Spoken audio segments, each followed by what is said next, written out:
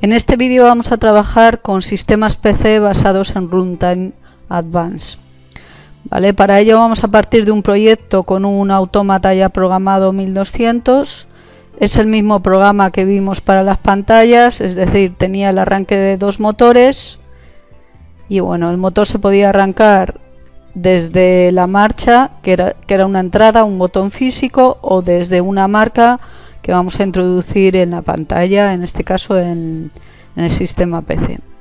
Arrancaremos el motor con set y luego lo podemos parar con paro, térmico o emergencia. Las tres son entradas normalmente cerradas y también vamos a poner un botón para pararlo y así haremos un reset al motor y lo pararemos. La señalización no la vamos a utilizar, pero bueno, es cuando está el motor eh, se enciende una luz verde y cuando salta el térmico una luz roja. Eh, también vamos a trabajar con la entrada analógica y la salida analógica y lo único que hemos hecho es un move de la entrada a la salida, es decir, reflejar el valor de la salida, eh, reflejar el valor de la salida en la entrada. Hemos introducido un temporizador on con el, cuando tenemos el motor 1 arrancamos un temporizador y cuando termina de temporizar arranca el motor 2. El tiempo se lo vamos a introducir desde el sistema PC o pantalla y el tiempo de salida que va midiendo lo veremos reflejado en, el, en la pantalla del ordenador. Bueno, visto esto, vamos a empezar. Primero que vamos a hacer es agregar el sistema PC. Decimos agregar dispositivos, sistema PC, eh, sistemas HMI y seleccionamos C Runtime Advance. Vale, le damos a aceptar.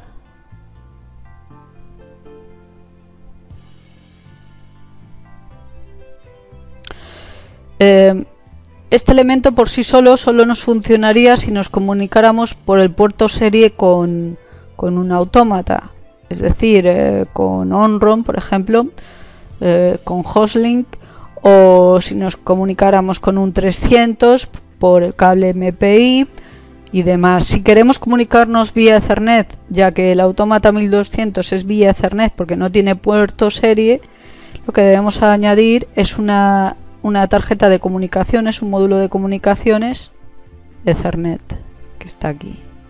En módulo de comunicaciones Ethernet. El siguiente paso es configurar las redes. Esta la tengo de antes, la borramos.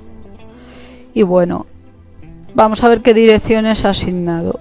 La que yo tenía es la 1008, pues está mal porque tengo que trabajar con la 08 ya que mi autómata tiene la 08. Entonces le pongo la 08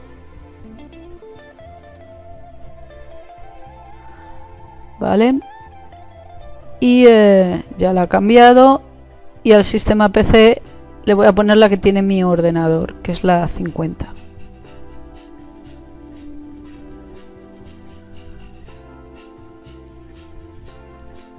Eh, ahí está, tenemos la 08 y la 050. Ahora vamos a configurar las conexiones, que con la pantalla lo hacíamos con el asistente, pero aquí hay que hacerlo. Bueno, en vez de conectar de redes, debemos ir a conexiones, en vista de redes, seleccionar conexión HMI si no está, ¿vale? Y unirlo. Se pone así en azul clarito. Vale. Ya hemos creado la conexión. Es HMI conexión 1 me está diciendo quién se conecta a quién, ¿vale? En este caso es el sistema PC al autómata y las direcciones que tienen ambos. Eh, para que no tenga problemas de conexiones los voy a sincronizar. ¿Vale? Sincronizar el dominio, los dos elementos y antes de seguir voy a comprobar que mi tarjeta de red es la dirección 50 y que eh, tengo la configuración del protocolo de Siemens. Entonces vamos a aquí, bueno, abrir centro de redes, cambiar configuración y compruebo en efecto tengo la 50, la 050 y voy a comprobar también la configuración de ajustar el interface de Siemens. Eh, bueno, esto suele estar en categorías, le doy a categorías grandes, le doy ahí. Yo supongo que lo tengo de otras veces configurado, si en efecto, bueno, aquí selecciono el que quiera. Si me voy a trabajar con un 300 sería ese. ¿Vale? En mi caso es este el que quiero, que es el que estaba, pero bueno, lo he vuelto a seleccionar.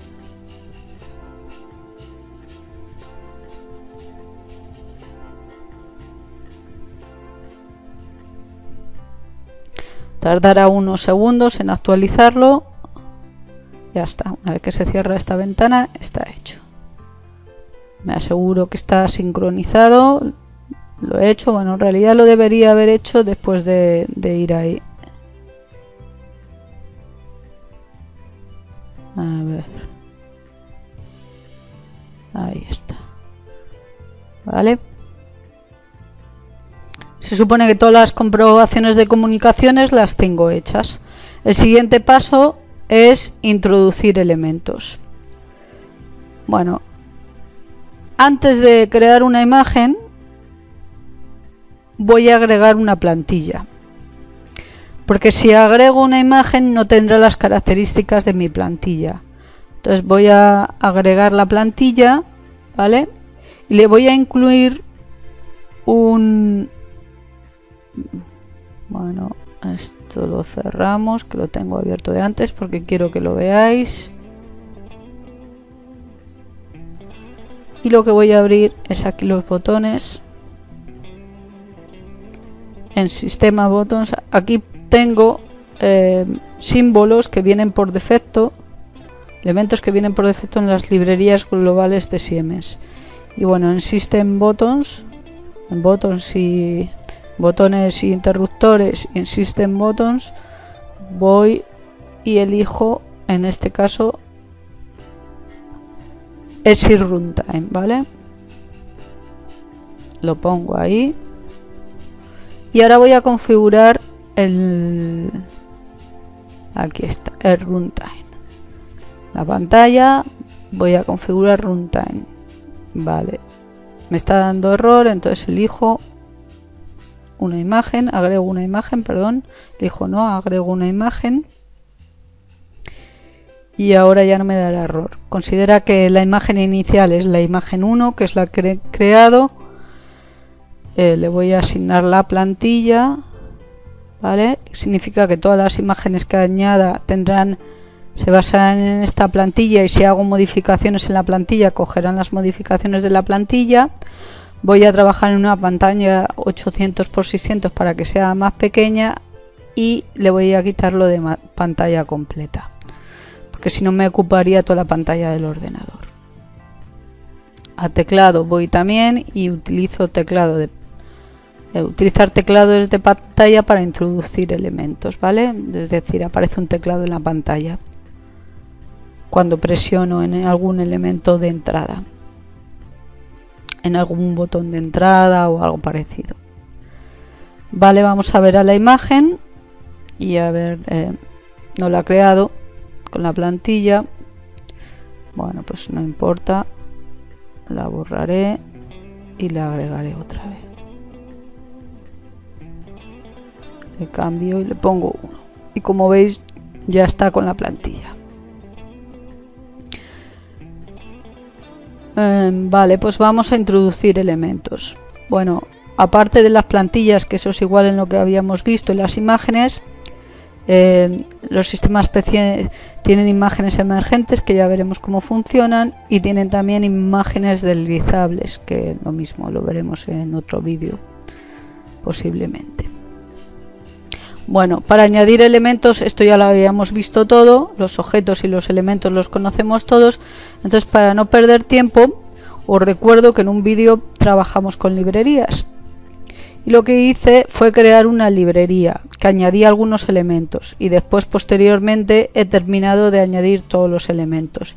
Si vosotros no los tenéis todos, pues bueno, podéis aprovechar para parar el vídeo y, eh, llevar a la, a la librería todos los elementos que os falten. Abro la librería.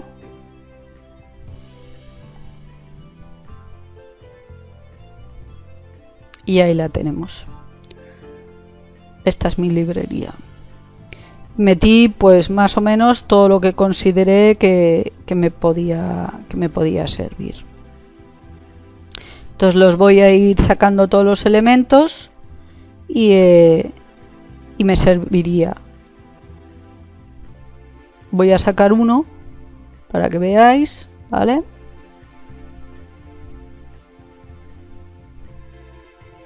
Y así iré haciendo con todos. Otra forma de hacerlo que no lo hemos visto es, por ejemplo, vosotros sabréis que yo creé un proyecto con una pantalla, ¿vale? pues le puedo decir aquí proyectos de referencia. Entonces aquí puedo abrir el proyecto que quiera. Me iría a la ruta donde yo tuviera guardado el proyecto.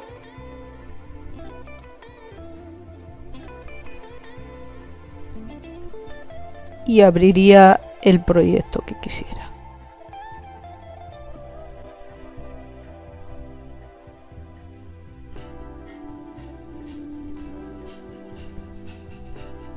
un poquito en abrirlo. Vale.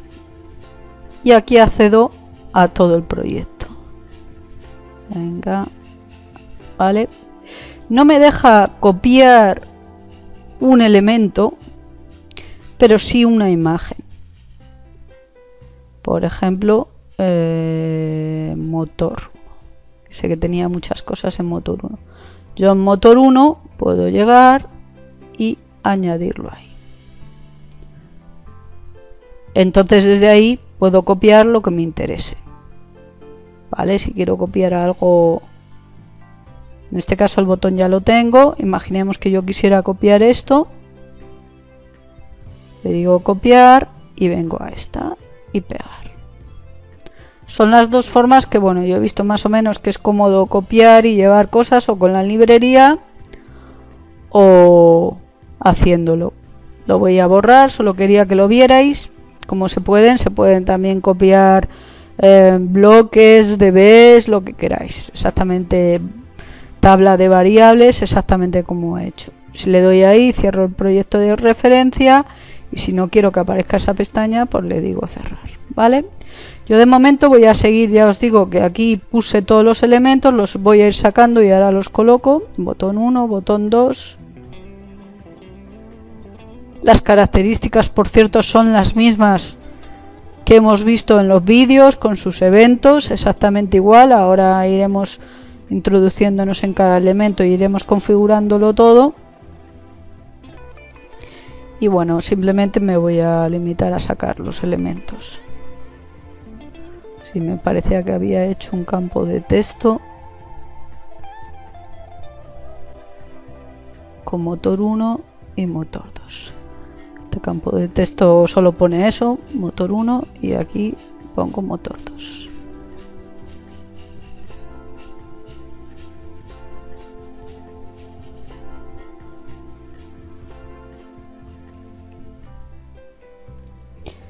Eh, campo fecha y hora ya lo tengo, campo de texto también, campo de entrada salida son los temporizadores si no recuerdo mal, le tenía que haber puesto otros nombres pero bueno, no se lo hice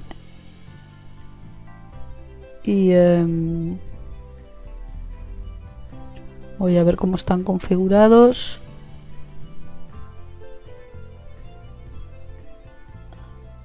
Vamos a dejar eso fijo que si no me marea.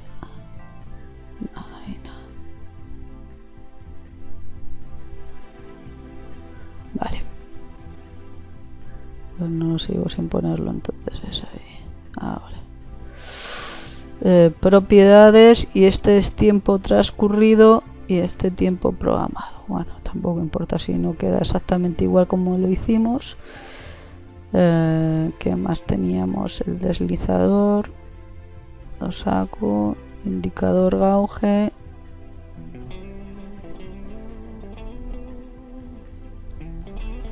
Ponemos ahí el interruptor. No, ese ya lo tengo. Mm, librería de símbolos que lo utilizábamos para el motor 2. El piloto, voy a sacar otro piloto. Tenía uno para el motor 1 y bueno, creo que solo utilizaba uno, pero bueno, voy a utilizar dos. Uno para cada motor. Este creo que lo... Bueno, si no lo tenía no importa mucho, pero vale, pondremos aquí.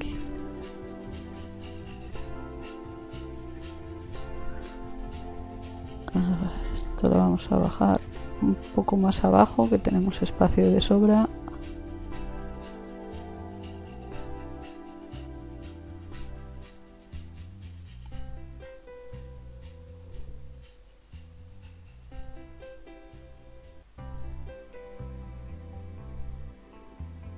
Y bueno, creo que tenía el reloj que se lo voy a sacar de, herramientas. Para que apareciera la hora.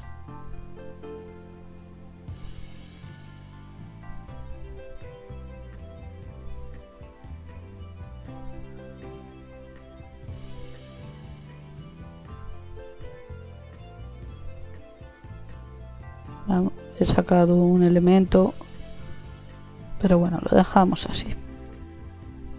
Mm, voy a la plantilla y en la plantilla voy a bajar el runtime. Veis que está ahí mal colocado lo voy a bajar un poco más abajo. Ahí lo voy a poner en la esquina. Incluso más abajo debería ponerlo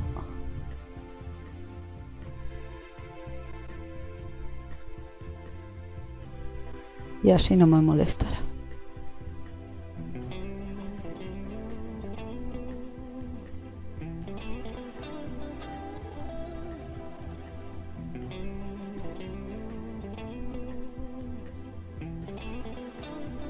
Vale, me falta ahí el tiempo, que creo que eso no lo copié.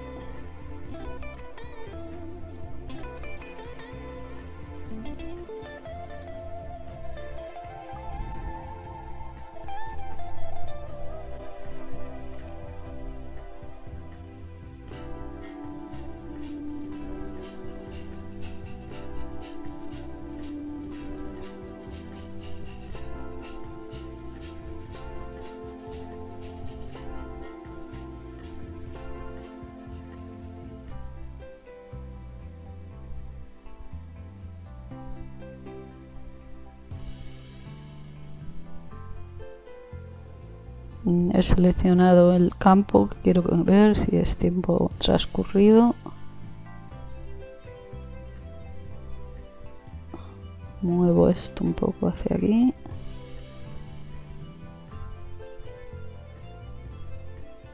Bueno simplemente le estoy dando un poco más de espacio a los elementos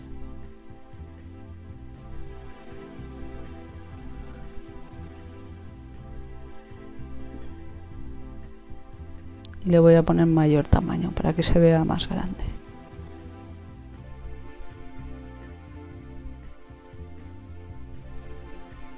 Este es muy grande, le vamos a poner negrita 13.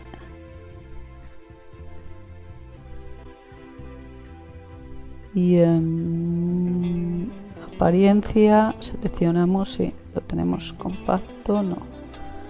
Entonces ese lo quiero ahí transparente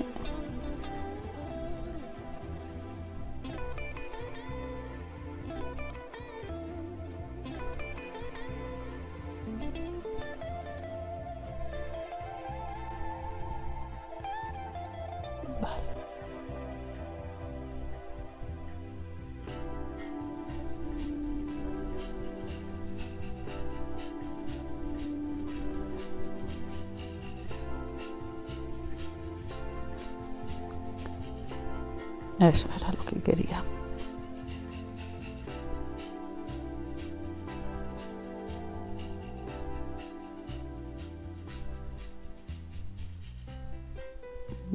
muy claro.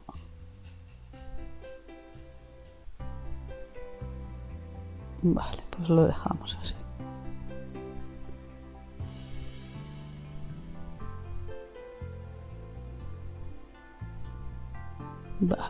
Este lo copiamos. Y le ponemos color azul.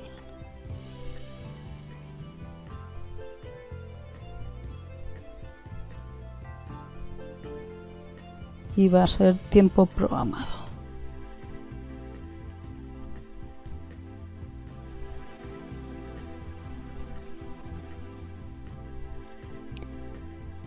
Vale.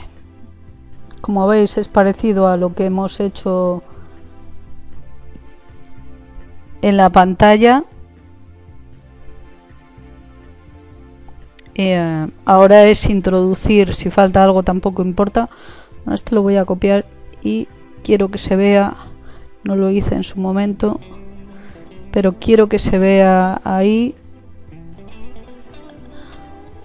Dejo el mismo tamaño y todo, lo pongo en verde.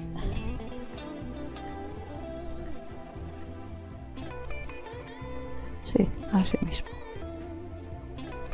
Vale, si me falta algo, pues no, no sé, tampoco tiene mucha importancia. Lo que voy a ir haciendo es ahora ir introduciendo todas las variables en cada elemento. Este elemento no tenía una variable, pero tenía ahí, ¿veis? Entonces simplemente me limito a seleccionar la variable que es, que es algo tan simple como darle ahí y eh, buscará una variable con el mismo nombre que la hay en el automata. Entonces solo tengo que ir seleccionando.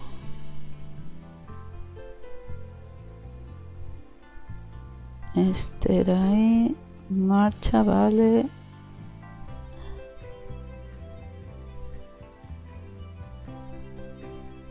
El motor todavía no lo he introducido. Motor 1.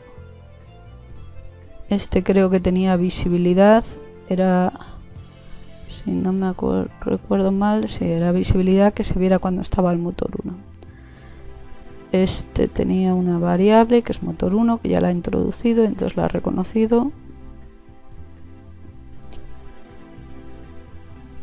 El sistema auge creo que lo utilicé con la entrada analógica. ¿Vale? A la fecha y hora la dejamos tal cual.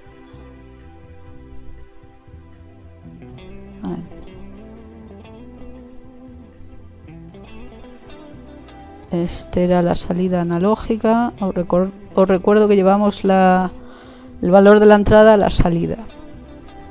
Vale, este es el tiempo transcurrido en el temporizador. Tiempo programado en el temporizador. Este piloto no estaba, pero lo vamos a hacer con el motor 2, que como está definida la variable no tenemos problemas, la reconocerá enseguida.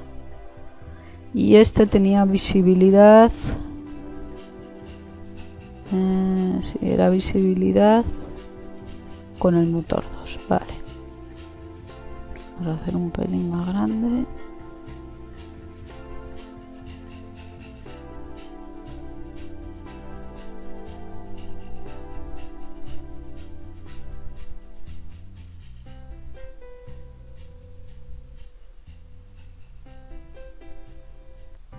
este hemos definido la palabra. Si os recuerdo que creamos una palabra.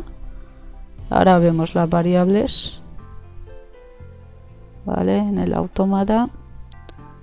Y este también lo vamos a configurar con la palabra. Quiero que se vea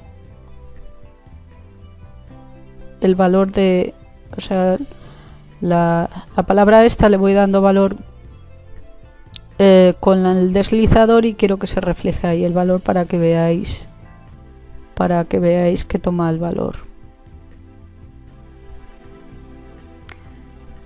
pues yo creo que ya le he dado a todos los elementos. Yo creo que ya está. Y os decía que vemos en la tabla de variables del automata por si no recordáis que teníamos definido. Pues estas son las variables que tenemos. Y si hay alguna de más pues la quito. Motor vamos a ponerlo por dirección. Tenemos estas son entradas entrada analógica el motor que es una salida las luces también el motor 2 salida también, la salida analógica, la marcha, el paro, la palabra es, eh, puse la MW1, es una palabra. Y el tiempo programado y esto de escribir hora no lo necesitamos porque es de otro programa. Le damos a guardar y vamos a compilar las dos cosas. Primero el autómata. Por si he borrado o he quitado algo, ese error suele darlo, o sea que no preocuparos. Protección no configurada lo dice cuando eso. Eh, también compilamos la, la pantalla por si lo mismo, algún botón no le he dado a ver qué dice la librería.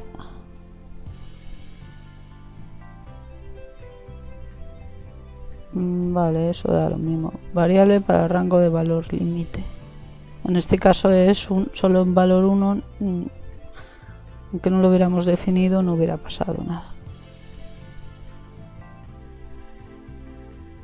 Porque eso es cuando tiene variables analógicas. Sigue dando. Pues le voy a quitar el valor límite. No recuerdo que le pusiera nada ahí.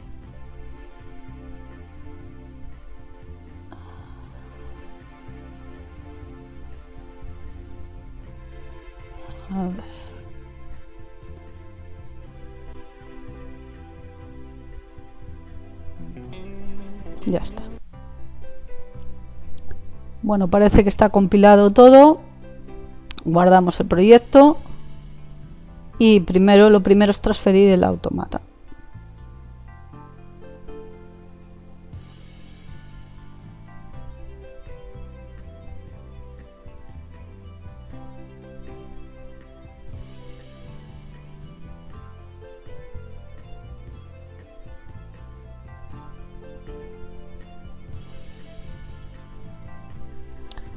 Está buscando la IP, la ha encontrado sin problemas. Y le vamos a decir parar todo. Que tendré otro programa de otra cosa.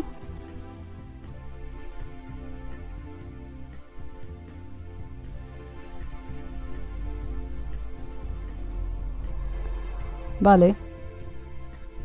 Hemos transferido el programa eh, vamos aquí a... vamos a crear una tabla de, de observación.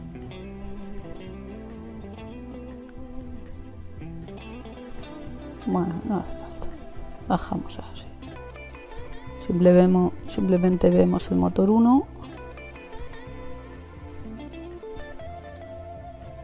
Venga, vamos a darnos prisa. Lo ponemos y bueno vamos a comprobar que funciona el programa. Tienen que estar el paro el térmico y la emergencia. Vale está todo bien vale para que no me pare porque si estuvieran mal vale los he subido.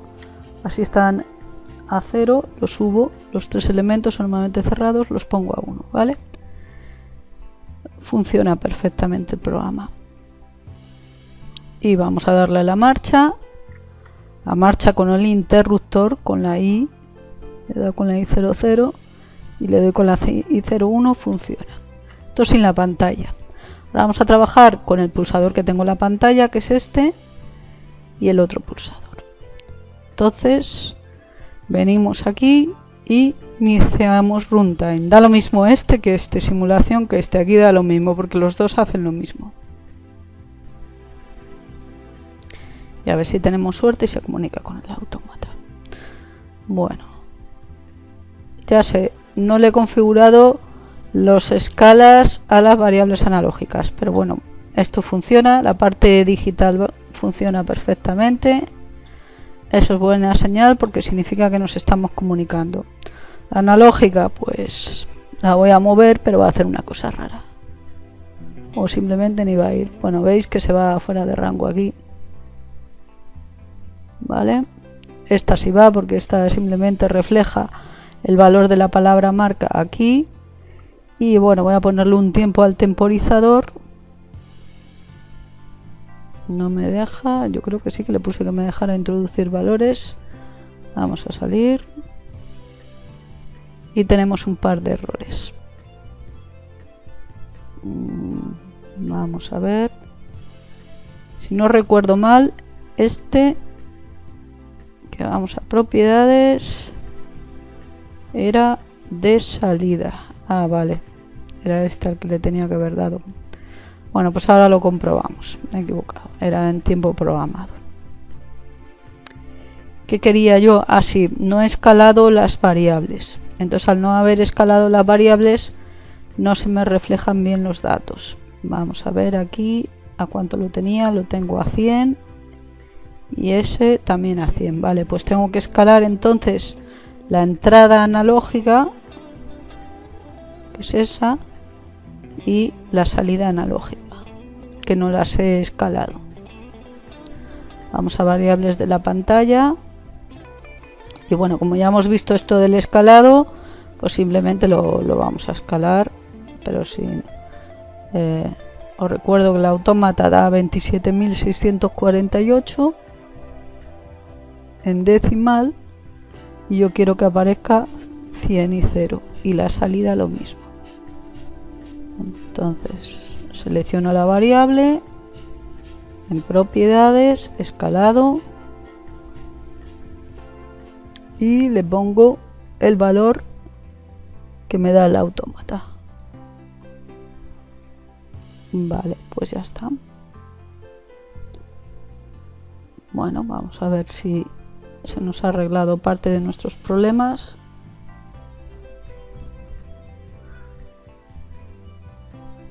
Mm, esta sigue funcionando. Y vamos a ver el potenciómetro. Vale, sí. Bueno, ya veis como el potenciómetro ya funciona en el gauge y en el otro. Vale. No llega hasta 100 porque el potenciómetro que tengo no es muy fiable, pero se ve que va a la vez. Este, que era lo... Ah, tengo el teclado activado, le voy a poner 6 segundos. Os recuerdo que hay que introducir el valor en milisegundos y bueno, le damos a la marcha. Arranca el motor 1 y empieza a temporizar el motor 2 y cuando llega ahí lo tenemos. Cuando paramos esas dos imágenes van a la vez que los motores. Bueno pues esto funciona perfectamente y como hemos creado el botón salir pues con darle a este pequeño botón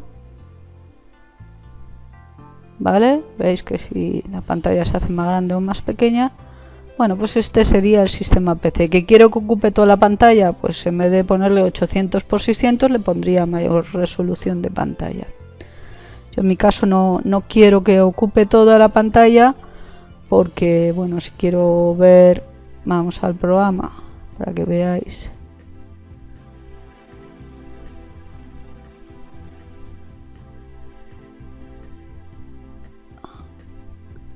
Entonces ahí nos ponemos en observación y la marcha es la marcha HMI vale habéis visto que le he pulsado está pulsada. Muy bien. Y ahora el paro el paro HMI que es este de aquí vamos a darle. Y se para. Le damos a la marcha Ah, esto es la, entrada y la salida analógica. desastre. Vale. Ah, qué desastre. Voy a, mover, muevo el potenciómetro y veis. Es el valor, os recuerdo que el valor máximo es 27.648.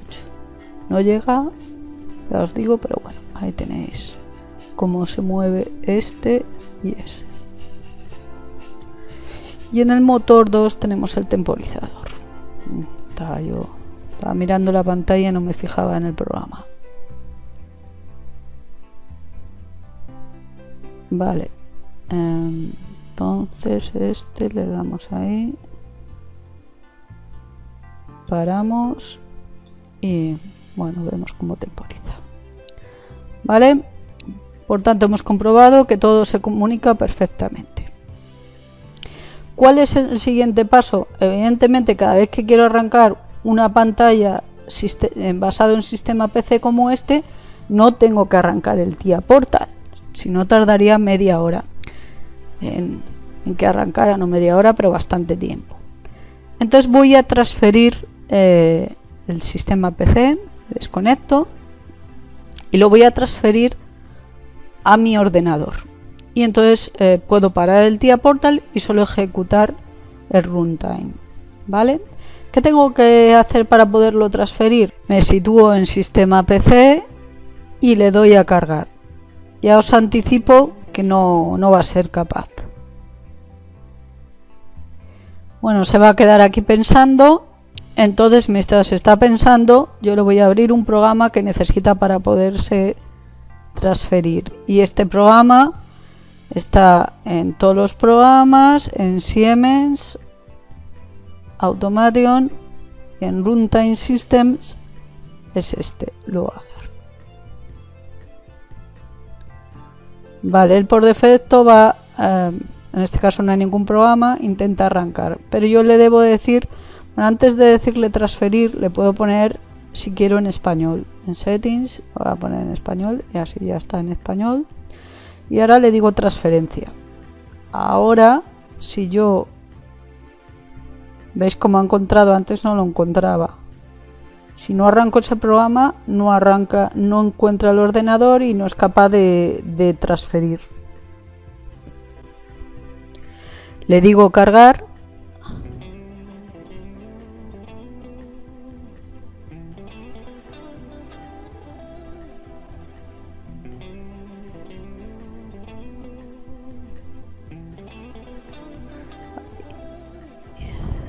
sé si lo he transferido, creo que sí. Tenía que haber dicho sobre escribir. Bueno, aquí lo tengo. ¿Vale? ¿Qué es lo que ha hecho este programa? Bueno, básicamente lo que hace este programa... Eh, lo tengo abierto ahora mismo. ¿Vale? Bueno, vemos, vamos a ver que funciona. Vemos que funciona. ¿Vale? Y lo voy a cerrar. Porque, ¿qué es lo que quiero enseñaros? el donde guarda, donde guarda la pantalla. Mete en todo esto, programa, programa data, Siemens, toda, toda esta ruta. Que yo la tengo abierta, por cierto, aquí. ¿Vale? Él crea una carpeta en todo esto que veis, ¿vale? Que es esa ruta que os dije aquí, es toda esta ruta. Crea ahí esta carpeta con el proyecto. ¿Qué significa? Que bueno, yo ahora mismo voy a darle a guardar y voy a cerrar el, el TIA Portal. ¿Por qué? Porque ya he transferido el proyecto, ya lo, puedo ejecutar sin tener, sin necesitar el TIA Portal. En cualquier ordenador que, que, que tenga instalado el Runtime Advance. Runtime Advance se puede instalar o bien con el TIA Portal, como es este caso, o bien comprando las licencias adecuadas para Runtime Advance. Si tengo una de las dos cosas, podré hacer esto que he hecho de transferir el programa. Si no tengo las licencias o no tengo el TIA Portal instalado, aunque yo intente cargar en dispositivo, aunque le ponga la dirección bien y le haga lo que quiera, no va a poder ser porque como veis necesitaba este programa y este programa solo lo tengo si tengo en Runtime Advance instalado. Vale, una vez que ya, ya lo puedo decirle iniciar desde aquí. Si le digo iniciar, voy a cerrar el, ya el, como os dije, creo que le he dado a guardar. Eh, puedo iniciarlo desde aquí, que si lo inicio lo que hace es que arranca la pantalla. ¿Vale? Otra opción, por ejemplo, es hacer un acceso directo con el nombre que yo quiera al escritorio. Eh, vale, a ver que tengo muchas cosas abiertas. Y ahí lo tenemos.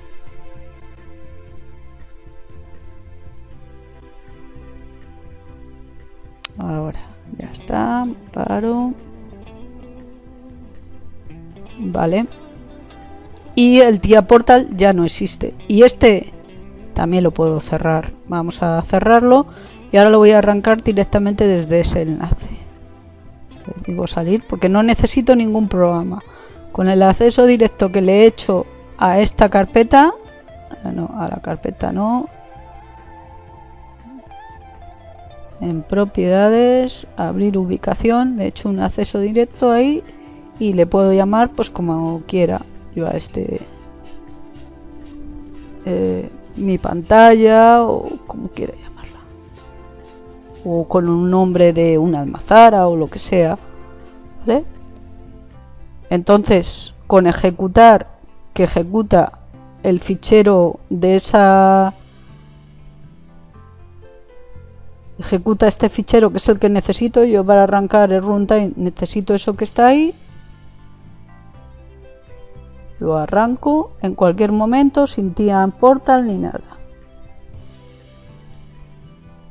vamos a ver la analógica bueno veis cómo se va moviendo. Vale pues ya está. Hemos acabado con este